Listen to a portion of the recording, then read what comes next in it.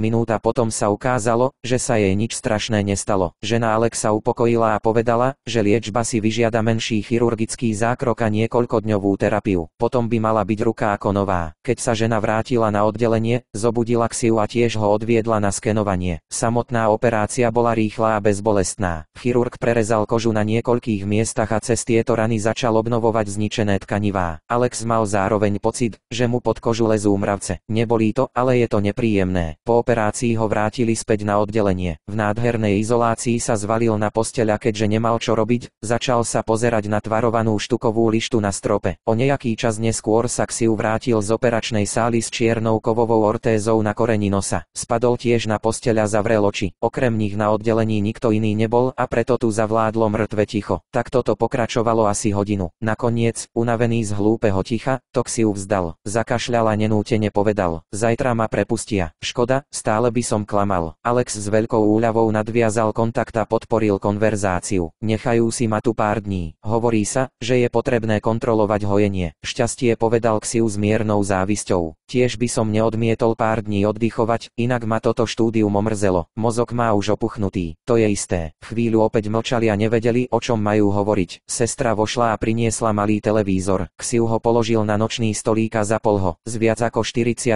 zachytených kanálov si federácia vybrala jeden, ktorý vysielal dokumentárne a vzdelávacie filmy a zvýšila hlasitosť. Momentálne ukazovali a rozprávali o živote v krdli vtákov akýchsi freudov z planéty Ares. Bolo to zaujímavé a tak pacienti pokojne ostali až do večere. Priamo na oddelení im doniesli horúcu polievku a výborný druhý chod. Chlapec podomový obchodník im zdvorilo zaželal dobrú chuť a odišiel. Zvyčajne sa jedlo na oddelenie nedoručovalo tak často. Bežní pacienti, teda tí, ktorí sa mohli pohybovať samostatne, zišli do jedálne a tam jedli, ale žiacim pacientom a dôstojníkom doručovali jedlo priamo na oddelenie. Zranení seržanti boli zrejme tiež klasifikovaní ako dôstojníci pri pútaní na lôžko a preto im obed doniesli priamo do postele. Alexaxiu sa do jedla vrhli s veľkým nadšením. Z nejakého dôvodu boli vynechané ranné raňajky a žalúdok o sebe dal pocítiť nespokojné škvrkanie. Večera skončila za pár minút. Ksiu naukladal taniere na podnos a z vrecka nalial sebe a Alexovi nektár z miestneho ovocia. Alex vďačne prijal pohár. Tí dvaja opäť čumeli do televízie televízora, no tentokrát ukázali nudné nezmysly. Alex klikol na iný kanál a dostal sa k správam. Skočil som na ďalšiu, kde bez prestania hrali videoklipy a odišiel som z nej. Napriek tomu na namáhanie mozgov a nebola žiadna chuť ládovať sa novinkami. A tak, popíjajúc džúza hlúpy pohľad na obrazovku, relaxovali. Alex Xiu sa zrazu otočil. Áno, počúvaj začal Xiu trochu váhavo už od včera večera som sa chcel ospravedlniť, to isté platí pre mojich priateľov. Mýlili sa. Takéto reči stáli za veľa, nie každý bol schopný niečo také vysloviť. Alex položil prázdny pohár na podnos a posadil sa na posteli. Vidíš, pokračoval Xiu, včera boli opití a preto sa tak správali. Alex sa dlho a tvrdo pozrel priamo do Xiuových očí a nakoniec povedal. Dobre, ospravedlnenie prijímam, ale v skutočnosti sa mali ospravedlniť oni sami a nie mne. Nebudú to môcť urobiť tak skoro. Je im poskytnutá pera. A teraz to nie sú moji priatelia. Xiu vstala stíšil hlasitosť otravnej hudby, potom sa posadil na parapet. Počúvaj Naozaj, Xiu povedal Alex, zaujímalo by ma, prečo si začal bojovať na mojej strane, koniec koncov, vytraja by ste ma rýchlo poučili penduleji. Dali by pokyn, súhlasne prikývol Xiu, ale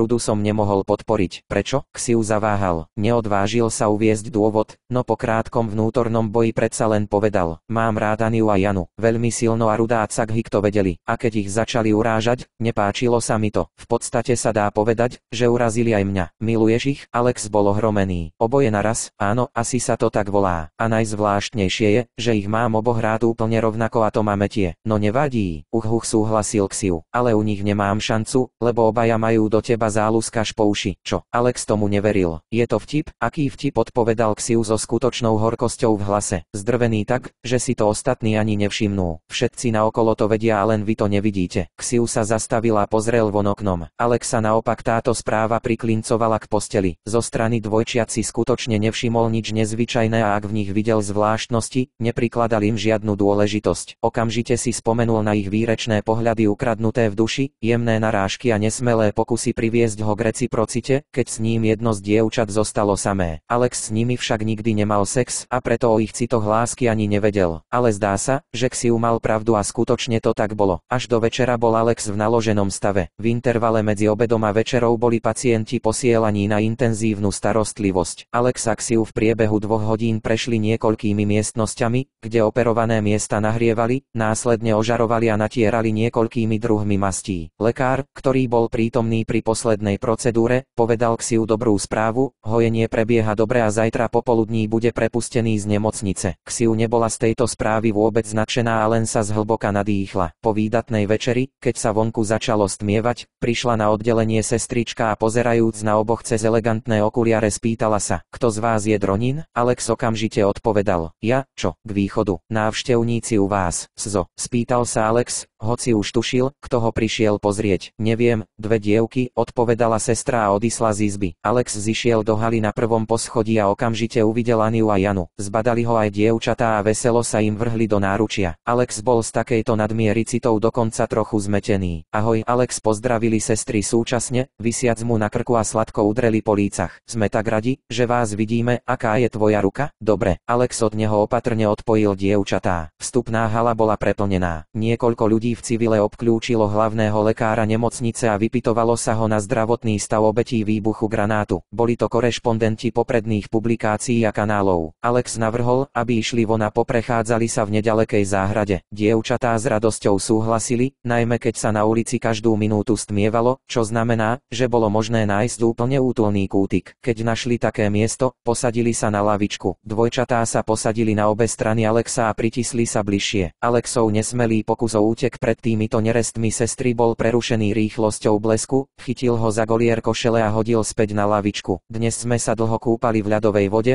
vyzvetľovali, tak nevypadni, zahrejeme sa o teba. Si taký teplý. Uch, dobre súhlasil Alex. Bol veľmi nervózny, pretože každou sekundou bol presvedčený, že Xiu má pravdu. A všetko by bolo v poriadku a v inom čase by Alex určite išiel dopredu, ale takto medzi dva ohne sa dostal prvýkrát. Nie, nemal nič proti láske tých troch, ale každá zo sestier ho úplne a úplne potrebovala a už vôbec nie jeho polovička. Ako ti ide ruka, Alex? Spýtala sa Ania znova. Nebolí to? Nie, to je v poriadku, odpovedala na dôkaz, pokrútil prstami obviazanej ruky. Čo skoro odtiaľ to vypadnú. Skvelé, sme veľmi radi. Dnes sa kvôli tomuto boju u nás dohodla celá komisia. Sám šéf akadémie vymenoval inšpektorov a títo vyriešili a vinníkov potrestali so všetkou tvrdosťou. A čo? Títo dvaja idioti boli riadne potrestaní, každý dostal 6 mesiacov väzenia. Vy ak si už ste dostali pokarhanie bez toho, aby ste sa zapísali do osobného spisu a jednoducho nám potriasli prstom, veď my za to nemôžeme. Áno, ak to ma strčil do chrbta, my nie. Dvojičky sa nahlas zasmiali. V záhrade sa už znateľne zotmelo a Jana z ničoho nič vytiahla známy kanister s škvrnou. Potriasla ním a trochu odskrutkovala korok. Vzduchom sa niesol pach alkoholu. Koniec koncov, včera sme nevyprali vážnový titul, vyzvetlila Jana. Budeš? Ania vylovila z bezodných vreciek skladací pohára pár mesových konzeru. Alex nechcel piť, ale kto z nich počúval jeho námietky a argumenty, bol naliatý a prinútil všetkých piť. V hisky strednej kvality popálila pažeráka zapálila žalúdok. Ten poskok mi hneď udrel do hlavy a všetky moje obavy ustúpili do pozadia. Ania mu strčila do ruky plastovú lyžičku a on vybral z konzervy malý kúsok mesa a vložil si ho do úst. Potom sa dvojičky striedali v pití. Zahryzli sme sa a hneď sme sa ponúkli, že druhú vynecháme. Dievčatá rýchlo dosiahli stav a začali sa hlúpo rehotať. Potom počase vypr- vyprázdnili kanister od škvrny a zenze sa objavil koncentrovaný suchý alkohol. Z nedalekej fontány Alex naplnil prázdnu nádobu vodou a vhodil do nej niekoľko kociek ohnivého koncentrátu. Počkal som, kým sa rozpustia, pretrepal a dal si pár skúšobných dúškov. Nápoj sa ukázal byť dosť silný asi 30 stupňov, takže ako ľahké dobiehanie sa celkom hodil. Vonku už bola úplná tma a park zalialo jasné svetlo lampiónov. Chodiacich pacientov bolo citeľne menej a to sestrám rozviazalo ruky. Opito sa o Alek sa opreli, objali ho a horúcim šepotom, zmiešaným s neutíchajúcim chichotom, priznali. Alex, milujeme ťa. S triezvou hlavou by to sotva povedali a Alex im odpovedal. Viem, miluješ nás? Áno. Dvojičky nekonkretizovali, koho ľúbi viac, s alkoholom v krvi im to bolo jedno. Hlavná vec je kladná odpoveď. Pritisli sa k nemu ešte pevnejšie, rozopli mu všetky gombíky na uniforme a drzo štyrmi rukami tlieskali po svalnatom mužskom tele. Rýchlo sme sa dostali na intímne miesta a priviedli Alexa do bojovej pohody pohotovosti, no a potom sa začali poriadne opilecké orgie s výkrikmi, stonmi, výkrikmi a s prostosťami na celý nemocničný obvod. Znásilnený Alex sa po polnoci vrátil s trasúcimi sa nohami do nemocnice. Sestričky a lekári na pohotovosti, okolo ktorej sa zakrádal, sa krnuli a významne žmurkli, no neprezradili svoju prítomnosť a Alex,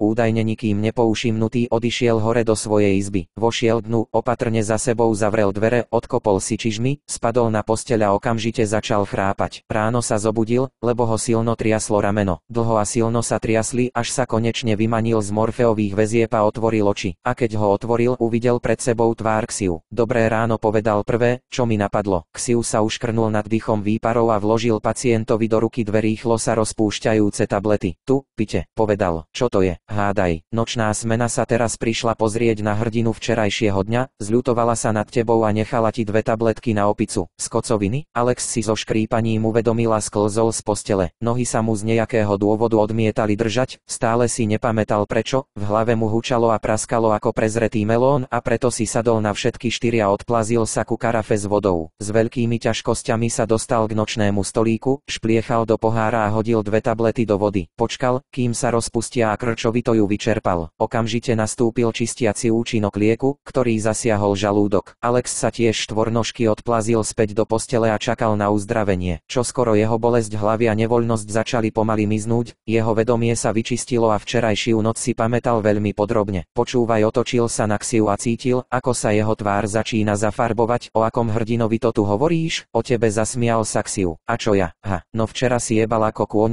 celá nemocnica sedela pri otvorených oknách a počúvala tvoje marcové serenády. Včera si usporiadal koncert. Áno, čo si? A všetci počúvali? Aha, aj lekári zo susedných oddelení pribehli počúvať tvoje umelec hysterické výkriky. Jeden si so sebou priniesol aj profesionálnu kameru a vyliezol na strechu. Povedal, že odtiaľ je park úplne viditeľný. Alex nad tým pokrútil hlavou. Páni, nie nadarmo som odmietol piť. Cítil som, že to neskončí dobre. Ozvalo sa hlasné zaklopanie na dvere a boli otvorené bez povolenia. Už nespíte? Spýtal sa lekár v strednom veku. Za ním stálo niekoľko usmiatých ľudí v bielých plášťoch. Nie, nespíme odpovedal Xiu pohotovo a Alex sa z nejakého dôvodu začervenal ešte hlbšie. 9. Pán Pajus prišiel na planétu Option okolo obeda. Raketoplán ho jemne dopravil na kozmodróm a tam si minister prenajal prúdový vrtulník. Vysokorýchlostné atmosférické plavidlo rýchlo nabralo výšku a dopravilo milého pasažiera k jazeru, ktoré sa nachádzalo 5000 km severne od miesta pristátia. Svoj zvláštny názov, Option, planéta odôvodnil na 100%. Bola to najväčšia obchodná platforma a finančný bod v celom ľudskom svete. Vo veľkom sa obchodovalo na miestnych burzách. Kupovali a predávali predávali všetko, čo sa dalo len kúpiť alebo predať. Biliónové obchody s Future s kontraktmi za pohých 10 minút neboli nezvyčajné. Akcie sa obchodovali s ešte väčšou aktivitou a to prinieslo obyvateľom planéty veľmi, veľmi dobré peniaze. No burzy stále hrali na zmenkách, opciách, menách a iných finančných nástrojoch. V tomto smere bola planéta zlatou baňou a to bolo do značnej miery predurčené tým, že sa nachádzala takmer v samom centre komunikačných a dopravných ciest. Po troch hodinách letu vrtulník pristál na plošine pri jazere, len čo Pajus zišiel z rebríka, prikotúlilo sa k nemu čierne auto na drepia z jeho hlbín vyliezli dvaja karabinieri s hrozivými zbraňami. Pristúpili k ministrovi, zasalutovali a povedali neutrálnym tónom. Prosím, poďte s nami, určite. Karabinieri priviedli Pajusa do poľovníckej chaty, vzali ho dovnútra a požiadali ho, aby si vyzul pravú topánku a ponožku. Minister implicitne vyhovel. Laboratórny asistent, ktorý bol v dome, vytrhol z chodidlaku z mesa a oduliekol ho na analýzu. Ďalší laboratórny laboratórny technik zobral Pajusovi odtlačky prstov a naskenoval dúhovku. To všetko bola štandardná kontrola totožnosti pred stretnutím s prezidentom federácie. Karabinieri ho medzi tým skontrolovali, či neobsahuje zbrane, výbušniny a jedovaté látky. Keď boli výsledky kontroly pozitívne a laborantky potvrdili, že ide skutočne o ministra obranného priemyslu Pajusa a nie o jeho dvojníka Kamikadze, karabinieri sa za kontrolu zdvorilo ospravedlnili a vrátili správnu čižmu. Nič, nič, rozumiem, prikývol Pajus. Treba treba predpokladať, že sa k ostatným menej významným ľuďom správate drsnejšie. Áno, potvrdil starší karabinieri, aby sme odobrali dna na analýzu, vyzliekame z niektorých spotky a ohýbame ich do rakoviny. Áno, a nehnevajú sa? Nie dobré. Radšej močia už uškrnul sa prezidentský strážca. Pajus si sadol na tvrdú lavičku a obul si čižmu. To je jasné. Môžete mi povedať, kde nájdem prezidenta? Samozrejme, je na opačnej strane jazera, loví ryby. Musíte sledovať cestu pozdĺž pobrežia. Bude to trvať asi si hodinu. Vou, ako ďaleko? Prečo ma neodvezieš vo svojom aute? Prepáč, nemôžem. Nie je tam žiadna cesta. Ale máme nafukovaciu veslicu, ak chceš, dáme. Len to nebude mať kto veslovať. Neboj sa, zvládnem to. Čokoľvek povieš, ale ja si myslím. Čo? Ak prezidentovi odplašíte všetky ryby, tak si myslím, že jeho nálada sa z toho nezlepší. Skôr naopak. Minister sa na chvíľu zamyslel. Áno, to by sa mi nepáčilo. Takže, kde hovoríte túto stopu? Karabinieri ochotne ukázali cestu okolo okolo jazera a vyzvetlili, ako nezablúdiť. Pajus si to všimol a svižne prešiel na neplánované stretnutie s prvým mužom Federácie obývaných svetov. Kráčal dlho oveľa viac ako hodinu. Niekoľkokrát zablúdil a odišiel od jazera a preto sa musel vrátiť, zavolať prezidentskú stráž a objasniť si cestu. Niekoľkokrát sa na jeho ceste z ničoho nič objavili zvláštne postavy v khaki teplákových súpravách a žiadali ukázať doklady. Pajus siahol do vnútorného vrecka svojej bundy, vybral svoje a strčil ich do nosatých týchto jedincov, potom bez hlásku zmizli vo vzácnej zeleni lesa. Nakoniec, pekne vyčerpaný a beznádejne ničiaci drahé topánky, minister odišiel na miesto, kde mal byť prezidentok Horabzol. Šéf federácie sedel na skladacom táborovom kresle na samom okraji 5-metrového útesu. V lacnom voľnom oblečení a šiltovke s dlhou slnečnou clonou uvoľnene pozeral do vodných vlniek, škúbal by sa plavák, v rukách mu sebavedome spočívala dlhá ľahká udica. Keď prezident počul ťažké kroky, vytrhol sa zo svojho jeho rozjímania a napoli sa otočil. Aha, to si ty povedal sklamane po odmlke. Prečo si prišiel? Mám voľný deň. Pajus sa previnilo usmiala roztiahol ruky. Bohužiaľ, pán prezident, obchod. Vojna nemá dni voľna. To je isté. S čím prišli? Niečo súrne? Spýtal sa prezident rozhorčene. Ani nie, ale nedá sa to odložiť, priznal minister. To je jasné. Potom si sadnite a počkajte, kým sa chytím za ucho. Potom sa porozprávame. Mimochodom, môžem vám dať udicu? Nie, nemusíš. Neviem loviť. Čo treba vedieť, prezident Rabzol bol ohromený. Nasadíte červíka na háčik, koniec hodíte do vody a počkáte, kým sa zahryzne. Nie, drahý Pajúz, rozhodol sa zastrčiť ministra, ten koniec, na ktorý si sa pozrel, sa nehádže do vody. Aj keď si myslím, že by bol skvelou návnadou. Morské panny budú musieť aspoň klovať. Minister sa hanbil, tváril sa, že sa začervenala ako pravý futbalista pred penaltou spojil dlane nad intímnym miestom, vraj som sa tam ani nepozrel. Obhorabzol sa Milou usmial a vrátil sa k rybolovu. Minister dostal rozkladaciu stoličku a sadol si vedľa prezidenta. Ako dlho tak sedeli nad útesom, Pajus nevedel, zámerne sa nepozrel na hodinky, aby prezidentovi nepripomenul vtedajšiu dobu. No zdá sa, že dlho, spokojného sedenia, bol ministrovi otupený chrbát a sviečková časť tela. Plavák, mimochodom, nikdy celý čas neškubl, no prezidentovi to zjavne bolo úplne jedno. Pre neho nebol dôležitý výsledok, ale samotný proces. Niekoľkokrát Rabzol vytiahol z vody náčin nie vymenil návnadu a znova ju hodil do hĺbky. Uhryznutie sa však z tohto neobjavilo. Možno tu nie sú žiadne ryby, povedal Pajus pod tónom. Prezident sa odtrhol od kontemplácie a tiež polohlasne odpovedal. Nie, je tu veľa rýb, pozrite sa, ako sa hrajú pri hladine. Guvernér Option ma špeciálne poslal k tomuto jazeru, povedal, že nikdy nezabudnem na miestny rybolov. No má pravdu, nikdy predtým som také sústo nemal. Potom by si možno nemal trpieť? Nie, budeme sedieť až do víťazstva. Alebo kým neskončí ďalší deň, je vo vašom najlepšom záujme vziať si druhú údicu a pripojiť sa, možno niečo chytíme. Pajus dostal náhradný prúd, rovnako dlhý a pružný ako Rabzolov. Prezident mu pomohol obliecť cyklského červíka a hodiť vlasec do vody. O 10 minút neskôr bolo jasné, že ani na druhú návnadu sa nikto nechce chytiť. Ryby špliechali po celom jazere a na mieste, kde sedeli rybári, ich bolo obzvlášť veľa. Ale buď bola príliš múdra, alebo ju niečo vystrašilo, nechcela vziať návnadu a prezidenta minister stratili ďalšiu hodinu hodinu. Niekde v diaľke preletel prúdový vrtulník. Rabzol zdvihol hlavu a s prižmúrenými očami pozrel smerom, odkiaľ sa ozval tichý rev. Rozptýlil sa sem, vyplašil všetky ryby, zavrčal a Pajus navrhol. Pravdepodobne niekto letí, aby sa s tebou stretol. Áno, rozprchli sa tu všelijakí ľudia, porušuje sa deň voľna. A ja ich mám, mimochodom, len dva za mesiac,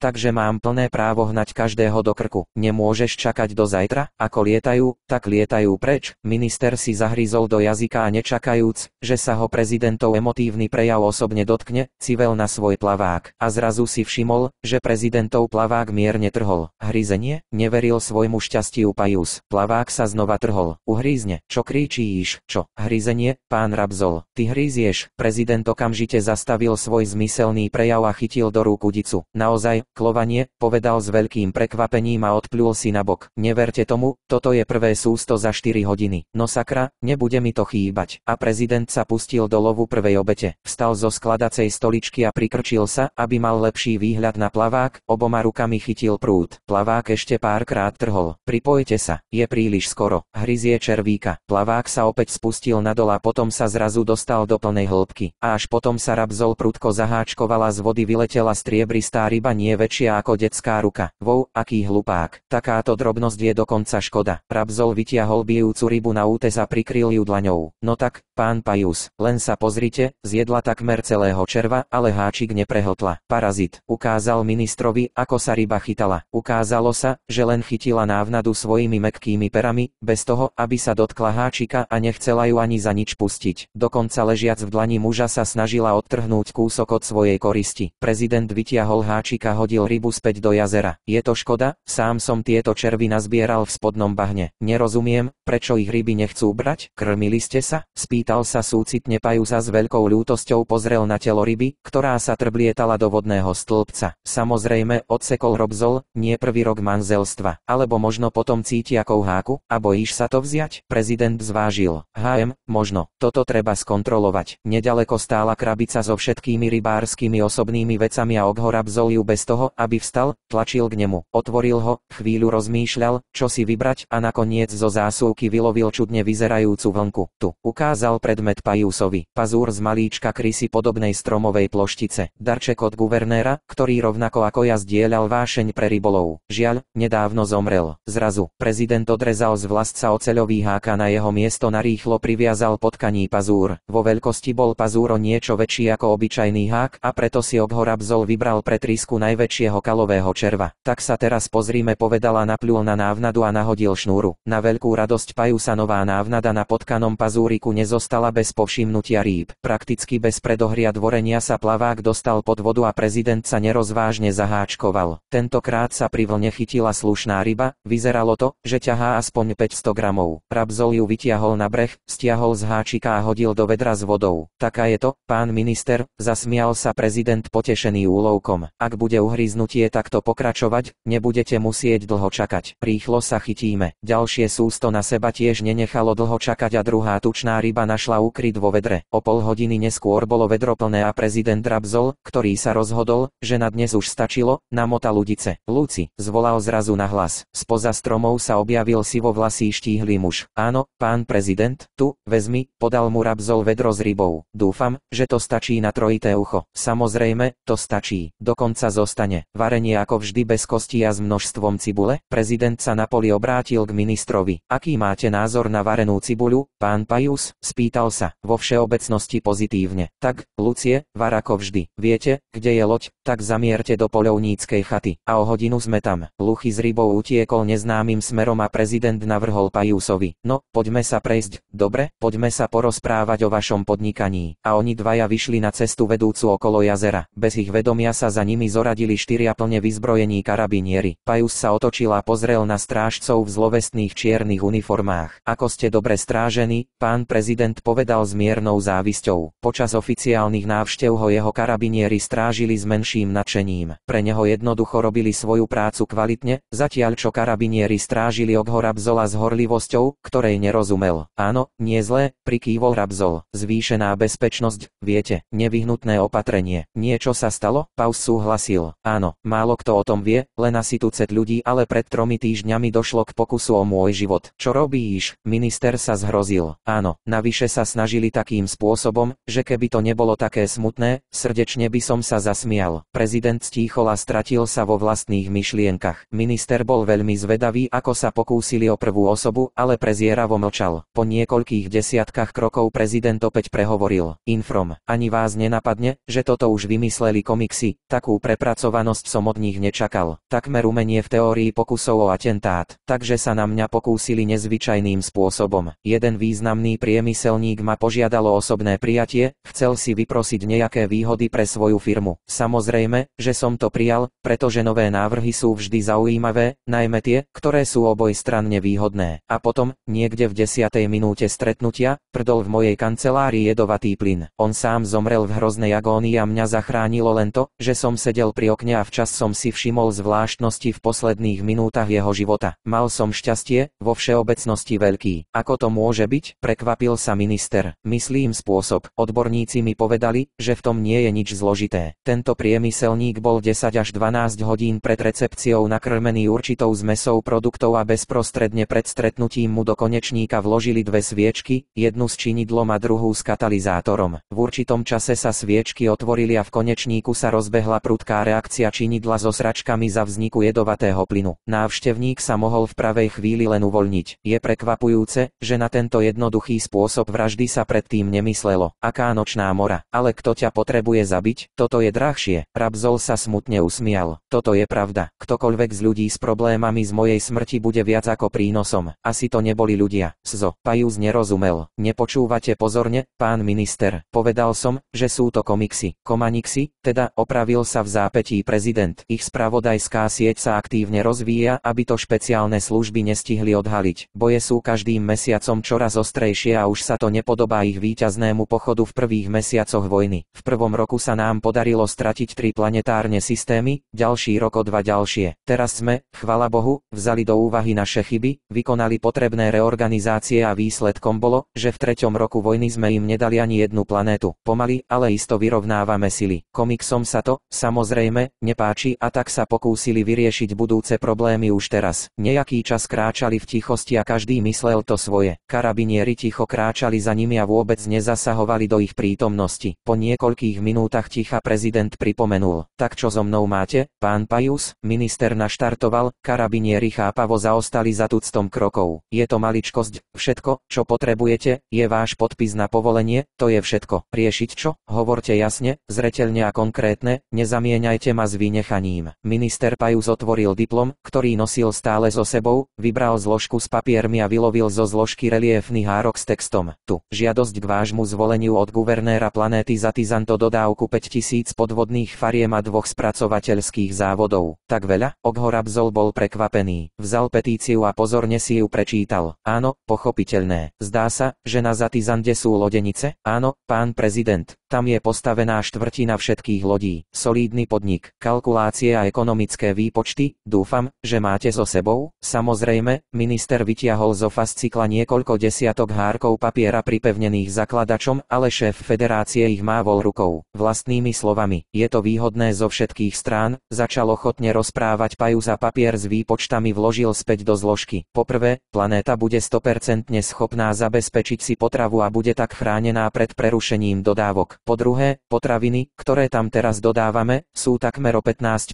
drahšie ako v iných svetoch a týchto 15% musíme dotovať z nášho rozpočtu. To znamená, že sa ukáže, že keď budú farmy fungovať na plný výkon, štátna kasa ušetrí takmer 10 miliárd mariek ročne. A to sú vlastne náklady na malý krížnik. Rabzol s úžasom prikývol, pričom tento údaj považoval za významný. Pôsobivé množstvo, povedala minister pokračoval. Po tretie, každý mesiac sa vytvorí takmer 100 tisíc pracovných miest a výber daní sa zvýši o 20 miliónov. A to je len daň z príjmu zo zárobkov z nových pracovných miest. A sú tam aj štvrté, piaté a šieste. Čokoľvek sa dá povedať, inštalácia podvodných fariem na Zatizande je mimoriadne zisková a šetrí obrovské sumy do rozpočtu federácie. Pri dverách poľovníckej chaty ich stretli starší karabinieria Luci. Kuchár sa skromne usmial a povedal, všetko je pripravené. Zostáva len sedieť pri stole. Predseda nariadil postaviť stôl pod holým nebom, čo rýchlo rýchlo vykonali dvaja strážcovia. Položili sa stoličky a Rabzol a Pajus si sadli k večeri. Luchy priniesol na podnose dva hlboké taniere na fajčenie a položil ich pred vysoké autority. Prezident vzal lyžicu, nabral hustý horúci vývar a ochutnal. Och, dobré ucho, Luci, obdivoval tú chuť. Výborne. Áno, je to chutné, súhlasil Pajus. Toto je skutočné jedlo a žiadna reštaurácia nikdy také niečo neurobí. Luci sa usmiala, odstúpila na boka začala odtiaľ sledovať, ako páni hltajú výtvor jeho rúk. Užíval si si ten pohľad. Keď bola rybia polievka hotová, Lucina servírovala malú fľašu ginu a ľahké občerstvenie k tomu. Prezidenta minister si bez váhania natiahli prvého a uvoľnili sa na stoličkách. Rabzol sa spokojne poškrabal na bruchu, natiahol sa a zrazu sa rozhodol. To je to, pán Pajus, poďme sem váš papier. Nevidím dôvod brzdiť takýto výnosný biznis, podpíšem to. Práve teraz. Minister urýchlene vybral od diplomata potrebný dokument a vložil ho na podpis. Rabzol zasa vylovil z hlbín šiat špeciálne pero na podpisy a na papier položil svoju zametajúcu vlnku. Tu, počkajte, vrátil dokument. Ak bude niekto rozhorčený alebo bude prekážať, strčte mu tento dokument do hrnčeka a odkážte sa na mňa. Povolujem. Dobre, pán prezident. Uhuh. No a čo ten druhý? 10. Ďalšia súprava teda prešla všetkými záverečnými skúškami a teraz sa v blízkosti veliteľského centra akadémie tlačilo 10 neúplných čiat, čakajúcich na svoje rozdelenie. Takmer 200 ľudí zachvátila mierna nervozita a preto sa na blízkom území ozýval nervózny hukot hlasov. Títo absolventi už majú za sebou polročnú prax v aktívnej armáde a ich nábor sa znížilo 30 ľudí. Všetci zahynuli pri stretoch s Comanixom a ich rodičia dostali čierne reliefne obálky, pohrebia odškodné vo výške 700 mariek. Distribúcia bola rýchla. Súčasne bolo privolaných niekoľko ľudí a v priebehu niekoľkých minút kadeti opúšťali veliteľské centrum s novými ramennými popruhmi v rukách,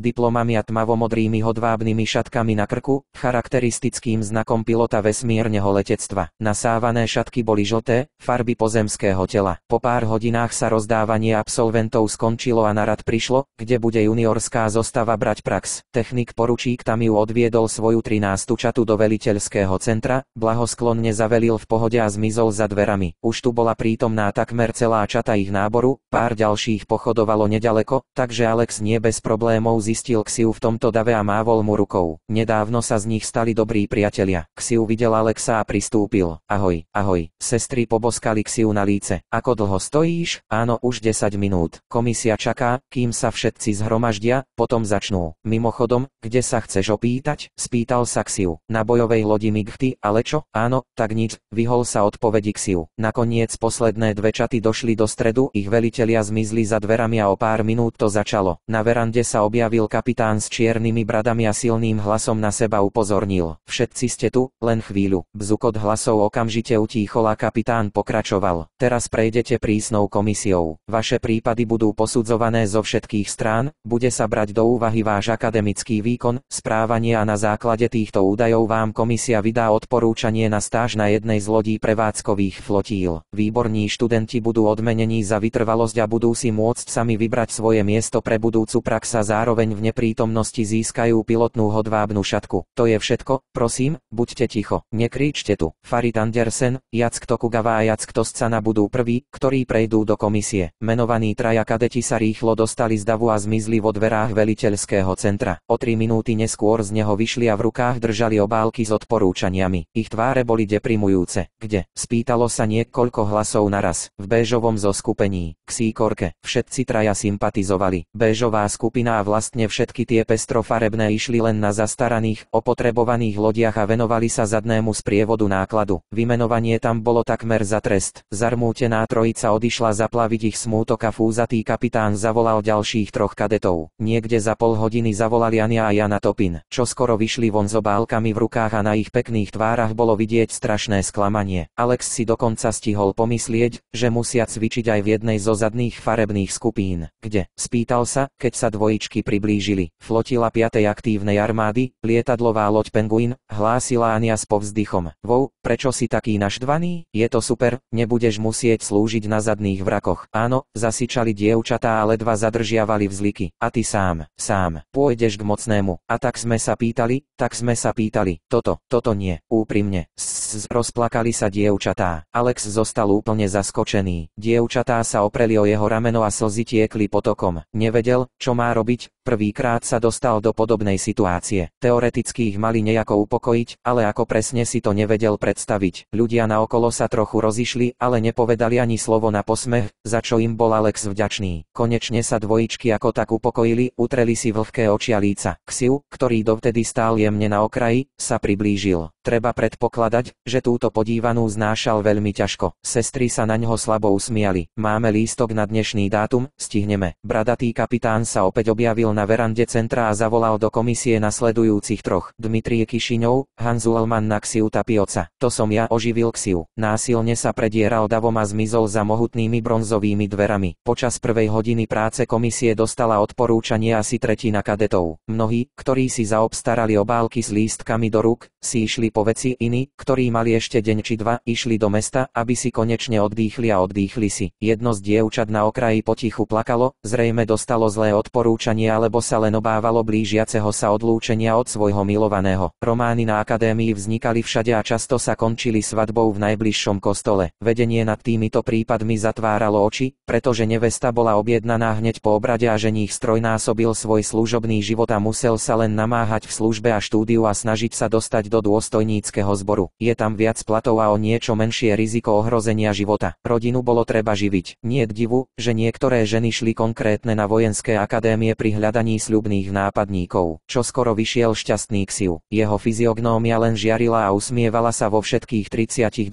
zuboch. Okolo krku sa mu namotala modrá hodvábna šatka a v rukách mal okrem réžie aj nové polety. Sledovali ho závistlivé pohľady. Podporučík dostal za vynikajúce štúdium, povedal spokojne, keď pristúpil a ukázal modročierne ramienka s dvoma hviezdičkami a pásikom v strede. Kam ich poslali? Spýtal sa Alex. Flotila druhej armády, na bojovej lodi Migty, budeme slúžiť spolu. Pýtal si si to. Dvojčatá zaťali zuby. Áno potvrdila Xiu a úplne zabudla na náladu sestier. Uvidíme, či budete slúžiť spolu alebo nie. Možno sa k nám v Penguin pripojí Alex. Možno sa nás spýta. Koniec koncov, Alex, Požiadaš o tučniaka? Prisali sa dievčatá k a začali ho hladiť po svalnatej hrudi. Pamätáte si park pri nemocnici? Pamätáte si, ako sme sa všetci dobre bavili? A chceš predtým utiecť? Bolo to prirodzené ženské vydieranie. Alex zostal v nemom úžase z takéhoto neskrývaného sexuálneho útoku. A kadeti, ktorí to počuli, sa usmievali, ten príbeh sa akadémiou rozprúdil už dlho a za každým bol prerozprávaný novými a novými prírastkami. Ja, ja, áno mne. Snažil sa Alex niečo vymyslieť. Sú Súhlasíte? Naliehali na dievčatá. Súhlasím, však, uch, no ako by som to povedal. Vo všeobecnosti môj otec slúžil na bojovej lodi a ja, uch. Alex sa začervenala dievčatá všetko pochopili. Zafúčali, zamračili sa a odvrátili sa. Potom obaja vytiahli čipkované vreckovky a aby sa opäť pred všetkými nerozplakali, rýchlo utiekli. je urazený, zhrnul frustrovaný Alex. Naozaj nechcel, aby tento posledný deň odovzdal takú tragickú notu. A už som sa bál, že ťa presvedčia povedal Xiu silne ťa dostali do obehu. Alex zmetene prikývol. Sestry čo skoro prebehli cez preriedený dav kadetov a zmizli za najbližším rohom. Počúvaj, Xiu obrátil sa na svojho priateľa. A prečo si žiadal Migty? Veď po nich mohol ísť k tučniakovi. Sám si povedal, že ich máš rád. Využil by som situáciu. Xiu sa mierne usmial a pohotovo vyzvetlil. Zbytočne, tam okrem teba nebudú myslieť na nič iné. Radšej by som bol vedľa teba na Migty. A vidíte, dievčatá sa presunú zo svojho tučniaka na vašu bojovú loď a tu som ja. Možno dostanem aj ja malú pozornosť, alebo možno ani nie trochu, ale celú polovicu. Medzi tým komisia so zvýšenou rýchlosťou rozdávala odporúčania na stáže. Pri volaní kadeti teraz prišli po 5 a po dvoch minútach sa vracali. Ľudia, ktorí prípady zvažovali, boli už zrejme poriadne unavení a rozhodli sa čo najrýchlejšie rozdať všetky obálky. Konečne nastala chvíľa, keď Alex začul svoje meno. Rýchlo sa predieral cez spolužiakov a spolu s ďalšími štyrmi chalanmi prešiel cez ťažké bronzové dvere komisia, ako sa ukázalo, pozostávala z piatich ľudí, vedúceho leteckej akadémie, technika majora Rabinoviča, staršieho majora Stelmagha, toho istého starého pána, ktorý organizoval miniturnaj, ďalšieho majora a dvoch dám v strednom veku zhodnosť kapitána. Alex videl tieto dve osoby prvýkrát. Kadeti sa vo formácii priblížili k ich stolu a začalo. Meno priezvisko? Opýtal sa Rabinovič prvého bez emócií. Jozef Jakovkach. Takže, pane, Jakovkach, osobný spis kadeta bol podsunutý vedú vedúcemu akadémie. Známky z teórie sú dobré, letová prax je tiež bez trojičiek. Počas tréningu ste nemali žiadne pripomienky ani tresty. To je dobré a čo povie veliteľ? Veliteľ Čaty, ktorý tu tiež bol, povedal, že k tomuto kadetovi nemá žiadne pripomienky a Jakovkách dostal bez slávnosti pokyn k jednému z krížnikov aktívnej armády. Ďalší traja kadeti boli vybavení rovnako rýchlo a všetci traja museli trénovať na Penguinovi. Vraj bolo na tejto lietadlovej lodi veľa voľných miest. Na rade bol Alex. Meno priezvisko? a Alexej Dronin, Justov predložil Rabinovičovi osobný spis. Áno, takže u nás máte vynikajúceho študenta. Teória 5, prax 5. Udelená hodnosť Rotmajstra za vynikajúce štúdium a prínos k dobrému menu našej akadémie. Jeden z víťazov posledného miniturnaja. Alex stála nedýchal. Čo povie veliteľ? Nemám žiadne sťažnosti na tohto kadeta povedali ústov. Dobre, a povedzte, nebolo to s jeho účasťou, že tu nedávno došlo k bitke? Správne, s ním, potvrdil poručíka Alexovi puklo srdce. Zrazu mu zišlo na um, že smer k mocným ako vlastné uši neuvidí. Ale ústou pokračoval. Ale, pán Rabinovič, tento incident nebol nebol jeho vinou.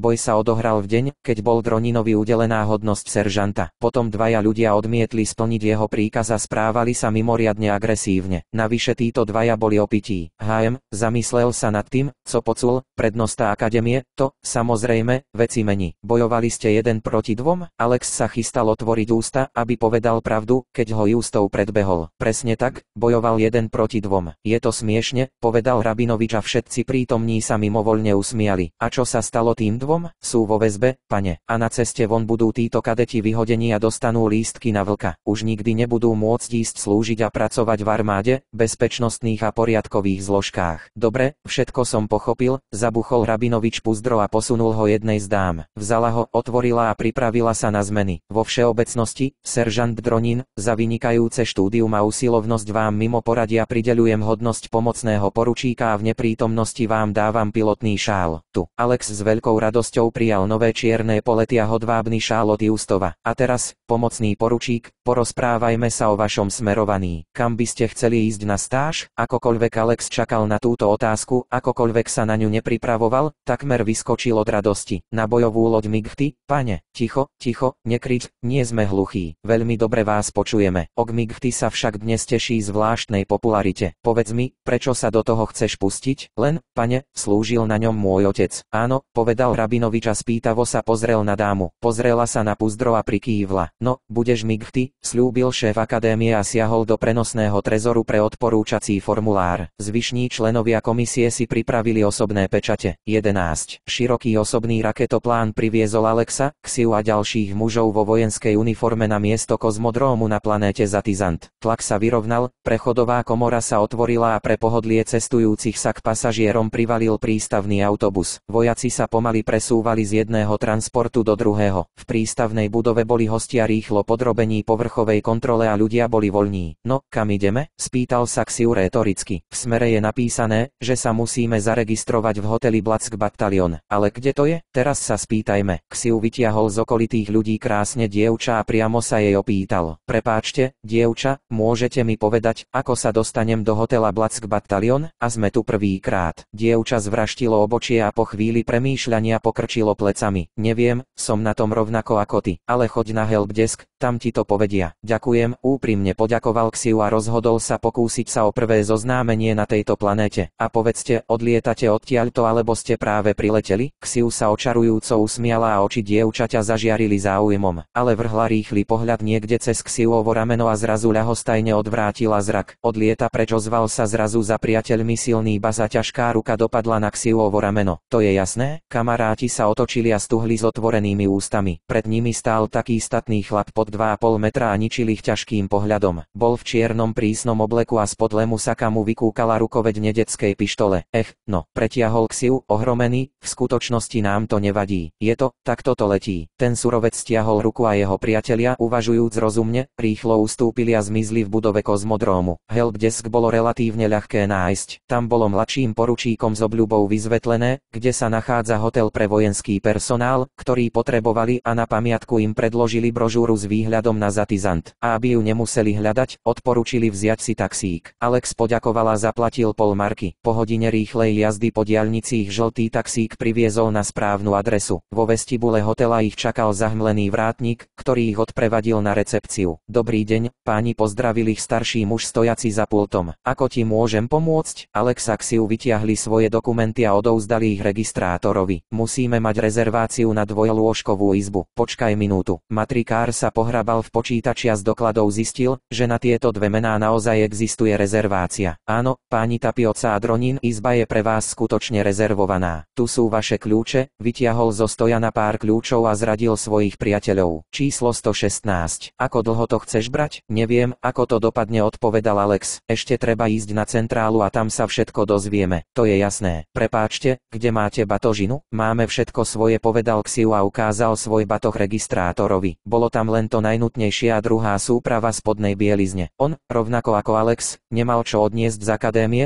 prakticky tam neboli žiadne osobné veci. Ochotne ich odprevadili do svojej izby, kde si nechali tašky. Potom zišli dolu a opäť sa priblížili k registrátorovi. Povedz mi, ako sa dostaneme do ústredia? V akom sídle ste? Ten, ktorý je pre veliteľský štáb lodí v oprave alebo iný? Ten pre dôstojníkov z lodí v oprave. Nie je to ďaleko, musíte ísť dva bloky doľava, potom jeden doprava a tam uvidíte sivú 6 poschodovú budovu. Stále na ňom bude vysieť tucet rôznych štandardov. Toto je centrála, ktorú potrebujete. Ďakujem povedal Alex. Vždy, prosím, usmial sa matrikár. Večer príďte na večeru do našej reštaurácie. Dnes tam vystúpi neporovnateľná Lilia. Toto ste už dlho nevideli. Pravdepodobne. Priatelia vyšli z chladnej haly čierneho práporu a ocitli sa pod horiacim svetlom. Obloha bola sfarbená do žlta. Rozhodli sa ísť ísť do ústredia pešo. Tri štvrtiny nebolo až tak veľa na to, aby som si zavolal taxíka, ja som chcel ušetriť peniaze na malé výdavky. Najmä si ju dokonca odmietol kúpiť studenú minerálku, takže Alex musel liečiť priateľa. Okamžite sa našla správna budova. Nápadne sa vyznačoval sivou farbou uprostred žltej tehly. Vošli hlavným vchodom a okamžite sa ponorili do atmosféry svetelného rozruchu. Muži v strednom veku vo vyšších dôstojníckých hodnostiach chodili hore-dole po chodbách budovy, ticho sa rozprávali a plie tlieskali po zadkoch mladé sekretárky. Ich podriadení sa motali okolo šéfov a plnili ich príkazy, prineste toto, podávajte toto, zavolajte a zistite to a to. Pri vchode priateľov stráže spomalili. Čo tu chceš? Spýtal sa strýko so širokými ramenami prísne. Máme v rukách smer, odpovedal Alex trochu handlivo. A je tu príkaz mocného, vaše doklady a pokyny, bez toho, aby odpovedal na otázku, dožadoval sa strážca a natiahol ruku. Alexa si mu dali potrebné doklady a strážca skontroloval ich pravosť. Áno, Prečo máš zašpinenú pečať? Spýtal sa prefíkane. Ksiu sa cítil trochu chorý.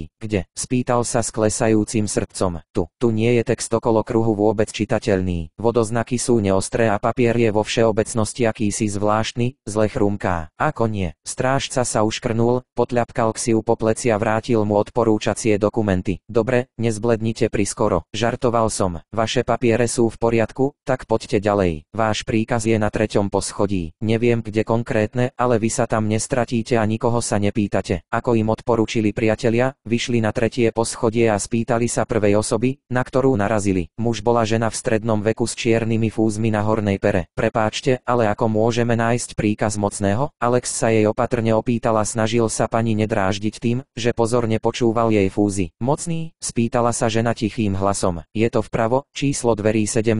Ďakujem povedal Alex. Nevedel, či je civilistka alebo vojenská, mala na sebe priliehavé šaty a preto nesalutoval. Priatelia zabočili do správnej chodby a išli, čítajúc nápisy na dverách pozdĺž cesty. Celkom nečakane ich dobehla dáma s fúzmi. Budem ťa sprevádzať povedala. Stále tam mám biznis. A hrdo viedla sprievod. Postavu mala nezvyčajne štíhlu a šaty jej sedeli na telo tak, že bolo jasné, že nenosí spodnú bielizeň. O minútu neskôr priviedla mladších poručíkov k dverám 17 a ako prvá vošla dnu bez zaklopania. Alex vklzol za ňu a potom k Siu. Miestnosť, do ktorej vstúpili, vôbec nebola taká, ako si predstavovali. Veľká miestnosť, asi 10 x 15 metrov, niekoľko širokých zatemnených okien na 7 alebo 8 pracovných plôch s plochými monitormi. V rohu miestnosti bola široká pohovka, niekoľko kresiel a televízor. Práve tam bolo 5 dôstojníkov, usadili sa a s napätím sledovali hokejový zápas. Hak Konen, hlasno zvolala pani jedného z dôstojníkov. Muž v elegantnej tmavomodrej uniforme, zjavne šitej na zákazku, sa nervózne zadúšal pohrával s peneným pivom a vyskočil z pohovky. Alex si všimol, že má polety kapitána prvej hodnosti a natiahol sa do pozornosti. Penelope, čo tu robíš? Prečo si prišiel? Kapitán Hakkonen bol znepokojený. Kde je mojich 50 tón jedla? Žiadala Penelope. Ako kde? Aha, no, to je. No, na všetkom sme sa zhodli, na čo sa trápiť. Dostanete jedlo. Všetky termíny vyšli pred týždňom. Snažíš sa ma oklamať? Chcete odísť z planéty bez splatenia svojich dlhov? Áno, samozrejme, budete oklamaní, kapitán kapitána prvého stupňa už obvinenie urazilo. Ak to chceš vedieť, už ma nebaví ťa hľadať. Túlaš sa kdekoľvek, ale je to moja chyba, však, a nie je potrebné ma obviňovať a hanbiť pred mojimi podriadenými, netrpím sklerózou na mojich úprimne stratených. Jasný, tak, kedy mi odovzdáš 50 tón? Spýtala sa Penelope znova a stlačila slovo moje. Zajtra odpovedal Hakkonen. Uvidíme sa zajtra. Príďte o 10 a potom pôjdeme do skladu. Dostanete jedlo. No, pozri, pohrozila fúzatá dáma prstom a efektne sa otočila na opätkoch, vyšla vona vo vzduchu zanechávala vôňu drahého parfumu. Kapitán prvého stupňa sa nadýchol, rozopol vrchný gombík a až teraz upozornil na dvoch mladších poručíkov natiahnutých do pozoru. Kto sú oni? Spýtal sa s miernou mrzutosťou v hlase.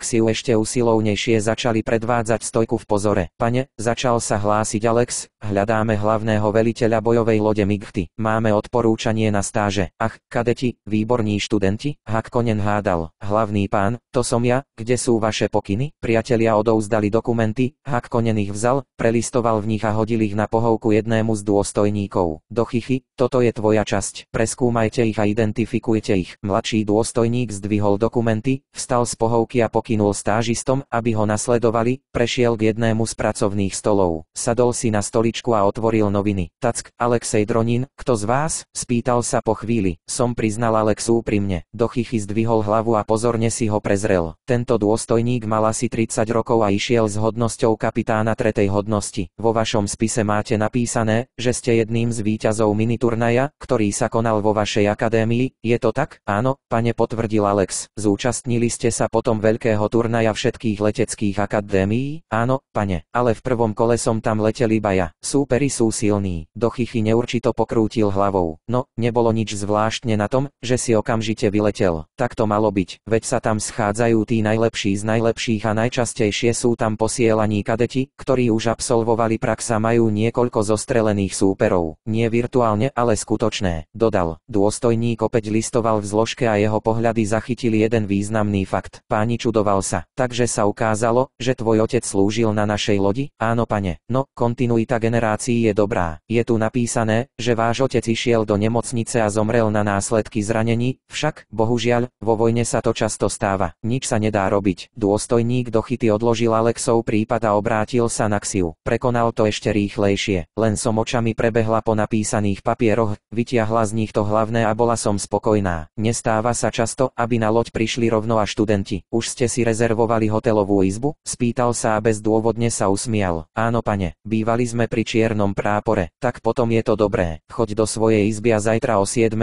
príď sem. Dovtedy máš svoj čas, rob si čo chceš, ale ráno ráno byť tu ako bajonet. A žiadne bolesti hlavy? Dobre, áno pane. Potom si voľný. Alex ju zasalutovali, otočili sa a vyšli na chodbu. Tam sa trochu nadýchli a radšej sa na seba usmiali. Ukázalo sa, že to nebolo také strašidelné, ako si predstavovali. Do hotela Black Battalion dorazili o pol hodiny neskôr. Vošli sme do našej izby, zamkli dvere a hneď zaspali. Boli veľmi unavení, vplyv mal dlhý let a posunutý vnútorný pocit času. A v osobnej lodi, na ktorej sem dorazili, nesmeli spať takmer celý deň. Malo to veľmi sexuálny a nespútaný dôvod a preto obaja okamžite upadli do hlbokého spánku, ale dlho spať im nebolo dopriate. O hodinu neskôr ich zobudilo vytrvalé klopanie na dvere. Alex prevrátil očami. Áno, zakričal nahlas z postele. Nechcelo sa mi vstať a ísť otvoriť dvere. Zaklopanie sa znova zopakovalo, ako by nepočuli položenú otázku. Alex musel vstať a ísť sa pozrieť na toho tvrdohlavého muža, ktorý náročne klopal na dvere. Otvoril ho a zamračil sa na krehkého 15-ročného chlapca v hotelovej uniforme forme. Čo potrebuješ, prepáčte, že vás budím, ale bolo mi nariadené, aby som vám pripomenul, že čo skoro bude večera. Uhuh, poznamenal Alex. Teraz ideme dole. Tínedžer sa prívetivo uškrnula a natiahol ruku pre typ. Čo? Alex nerozumel. Stalo sa, že nikdy v živote nikomu nedal typa toto gesto bolo pre neho neznáme. Tínedžer ešte náročnejšie natiahol ruku a šuchol prstami neviditeľným účtom. Nenápadne to naznačil. Čo? Alex opäť nerozumel. Niečo? Daj peniaze za službu? Nevydržal tínedžer. Na čas čaj, čo, vypadni odtiaľto, chlapče, toto ešte nie je služba. Alex dal tínedžerovi manžetu a zabuchol pred ním dvere. Potom sa vrátil do spálne a odstrčil chrápajúceho Xiu na bok. Vstávaj, volajú na večeru. Xiu zamrmlal niečo nezrozumiteľné, no napriek tomu otvoril oči. Hlasno zívol a postavil sa na nohy. Áno, čo hynie, spal by a spal. A zajtra budeme len jesť, povedal nie veľmi rád. Áno, ale bolo nám naznačené, že tam vystúpi nejaká neporovnateľná a očarujúca Lilia. Rád by som videl. No išiel by som sám. Čo ak to bude striptease? Ksiu niečo v duchu zvážil a súhlasil, že by stálo za to zobudiť sa a ísť dole do reštaurácie len kvôli tomu. Zrazu tu naozaj bude striptease. Obaja sa rýchlo osprchovali, oholili a o pol hodiny neskôr navštívili reštauráciu Black Battalion. Dostali voľný stôl a dostali menu. Alex si objednal plošticu a silnú čiernu kávu a Ksiu sa po 5 minútovom premýšľaní a trápení sa s výberom rozhodol objednať si čiernu silnú kávu pre seba a bez toho, aby si vybral, tú istú plošticu. Čašník sa ponáhľal splniť objednávku, no medzi tým im naliali pohár bieleho vína. Sála reštaurácie bola preplnená. Posledné voľné stoly boli obsadené doslova po kamarátoch a z atmosféry prítomných bolo cítiť, že všetci boli v očakávaní vystúpenia neporovnateľne Lady Lilie. Navyše väčšinu prítomných tvorili muži. Napravo od mladších poručíkov bol stôl, pri ktorom sedeli dvaja kadeti, zrejme tiež dorazili na cvičenie. Jeden z nich však kam si odišiel, zatiaľ čo druhý zostal sedieť a vzrušene hľadieť na prázdne pódium. Hej, zavolal kadet Xiu. Áno, okamžite odpovedal chlapík. A kto je tá Lili? Nevieš? Ach, Lili. Kadet zasnene prevrátil očami. Čo nevieš? Poznáš Lili? Nie. A kto je ona? Ten chlap zrazil niečo takú hustotu, ale napriek tomu osvietil Xiu. Lilia, je to superstar striptease. Povedal som ti. Vložil sa Alex. Je miliardárka. Na pódiu úžasne spieva a potom predvádza striptease tak nevinné. To je niečo. Ak je miliardárka, tak čo má robiť v nejakej treťotriednej triednej reštaurácii, Xiu bol prekvapený. Je vorkoholička a nemôže žiť bez práce, vyzvetlil kadet. Často robí práve to, vyberie si planétu, na ktorej nikdy nevystupovala a tam začína svoj vzostup od znova. A keď sa o rok budú rozprávať len o nej, začne od znova. Takto zarába svoje bohatstvo. Mali ste vidieť, aké má kozy. V. Chlapík dokonca ukázal, aké mala Lili prsia. Podľa neho sa ukázalo, že veľkosť desiatej, nie menej. Xiu sa zasmiala blahosklonne povedal, no tak, hovor tak, to sa nestáva, aj keď my sami sme práve včera videli podobnú veľkosť a dokonca cítil. Ale také, ako ste ukázali, sa nestane. Kadet na špúli lústa a urazene povedal, uvidíte. Kým Alexak si čakali na objednávku, dopili biele víno. Čašník si to všimol a pribehol a naplnil ich novými pohármi. A potom rýchlo bežal späť a ťahal košík s ovocím. Ako už priatelia zistili, ovocie bolo na tejto planéte luxusom. To je pre teba. Požiadali ma, aby som prešiel, povedal potichu. Szo, čašník prevrátil Krútil očami, no neodpovedal. Položil kôž na stôl a opäť zmizol. Ksiu však vo vnútri našiel rukou napísanú poznámku. Ahojte chlapci, rád vás opäť vidím. Prídem k vám večer. Pel. Prečítal a premýšľal. Zaujímalo by ma, kto je tento Pel? Pomyslel si aj Alex. Nie Pel, nevedeli, najmä preto, že boli na tejto planéte prvýkrát. No napriek tomu na ich stole stál kôž s ovocím a z poznámky sa šírila veľmi známa vôňa parfumu. Možno je to včerajší sexuálny maniak? Navrhol Alex. Sakra, potom z nás určite vypije posledné šťavy, možno nie ona, bolo by lepšie, keby to nebola ona Xiu rýchlo zaprela ženu a zaklopala na drevo. V osobnej doprave, ktorou lietali Alexa Xiu, bol jeden ehm, zaujímavý príbeh. Hneď od začiatku týždňovej cesty dostali dvaja miesta v kabínke pre štyri osoby. Tretia pasažierka bola baculatá a zlomyselná baba. V hlave mala evidentne vlastné šváby a preto od prvého dňa nemala rada svojich priateľov. Stále si niečo mrmlala po podnos, sičala na nich a strašila ich dlhými pleta škrtacími ihličkami a celkovo na každého stavala drobné špinavosti, neobchádzala ani obsluhu a snažila sa postaviť každého podľa vlastného chápania. Na tretí deň mučenia to kamaráti nevydržali a obrátili sa na staršieho sprievodcu so žiadosťou, aby od nich zlomyselnú starenku odsunul, na čo on len pokrčil plecami. Na lodi neboli žiadne prázdne kajuty a nikto dobrovoľne nesúhlasil s tým, aby ich starenka prišla navštíviť. Kamaráti teda museli tráviť väčšinu času na chodbách a v ubytovniach. Na izbe sa stretli s Lídou ako sa volala, žena vo veku medzi 25 až 30 rokov, s úžasne tvarovaným poprsím a anielskou tvárou, k ním sama pristúpila, nadviazala rozhovor a pohostila ich kvalitným vínom. Postupne si uvedomovala ich problémy a rozhodla sa im pomôcť. Pozvala starú ženu, aby sa presťahovala do svojej samostatnej kajuty v prezidentskej triede a sama zaujala jej miesto. Stará žena ľahko súhlasila, ale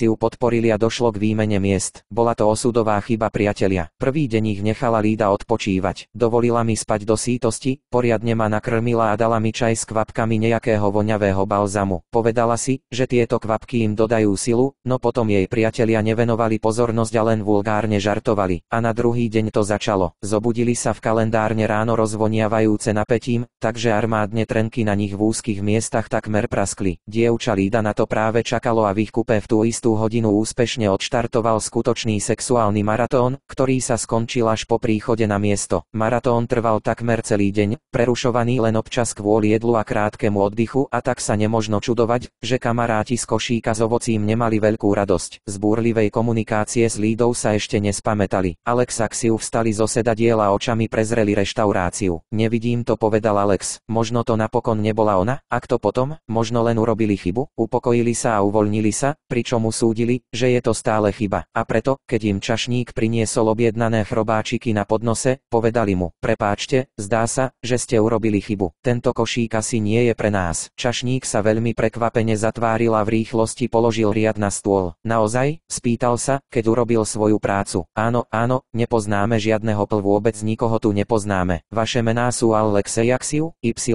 áno, vyžmýkali zo seba zdrvení kamaráti. Potom bol darček odoslaný presne na adresu. Navyše mi ťa celkom presne opísali a ukázali, kde sedíš. Kto ukázal? Prekvapený Alex. Dievča Venuša odpovedal čašníka s hlbokým povzdychom dodal, veľmi krásne ako Venuša. Kamaráti sa na seba znechutene pozreli. Kde je ona, tá Venuša? Zabil sa spýtal Alex. Nepovedala mi, aby som hovoril. Povedala, že ju čo skoro uvidíš. Jedzte, páni a vychutnajte si jedlo. Áno, išiel si. Čašník ušiel s prázdnym podnosom, vôbec sa neurazil a priatelia boli nútení začať jesť. Klops sa ukázali ako filety z rýb varené špeciálnym spôsobom s kyslou smotanou, citrónom a bylinkami. Bolo to veľmi chutné smutné a preto boli Alexaxiu dočasne vyrušení zo svojich smutných myšlienok a zlej predstavy. Na pódiu medzi tým nastalo oživenie. Spustená opona sa niekoľkokrát zatiahla, následne rozostúpila a pred publikom predstúpil štíhly zabávač v klasickom smokingu s mikrofónom v ruke. Ľudia v reštaurácii sa viditeľne vschopili. Zabávač urobil veľkolepú pauzu, počkal, kým hluk v reštaurácii neutíchne, všetci mu venovali pozornosť a začal vysokým a silným hlasom. Páni a dámy, všetci tu, predstavujem vám vám tu, kvôli ktorej ste tu všetci, ten zbožňovaný miliardami, tá, ktorú nenávidia stá miliónia, ktorá je obdivovaná stokrát viac, neporovnateľná, neporovnateľná a najkrajšia Liliu. Okamžite sa ozvala rýchla, zápalná hudba a publikum vybuchlo stonaním a potleskom. Zabávač v sekunde zmizol z podia a spoza závesov vykukla zvodná ženská noha v červenej pančuche a striebornej topánke. Halo zomrela znova vstal. Začalo sa úžasné predstavenie. V oslepujúcom svetle reflektorov vklzla zvalili na pódium a Alexa Xiu boli zasiahnutí až do srdca. To je ona zakričal Xiu cez hluk hudby. Alex prikývol. Bola to skutočne ich spolujazdkyňa Lída. Zdá sa, že chápem, čo znamená pel. Čo? Pel, znamená krásna ľalia. Priatelia stíchli a ponorili sa do atmosféry všeobecnej eufórie. Na pódiu bola Lili naozaj krásna. Spievala jednoducho úžasne a z toho, ako sa hýbala a tancovala celá sála, sa zbláznila. Aj tým pár ženám, ktoré tu boli, sa v očiach podozrivo zaiskrilo a dých sa im zrýchlil.